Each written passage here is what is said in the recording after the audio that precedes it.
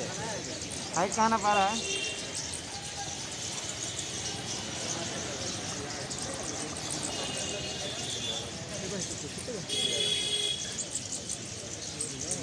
हाँ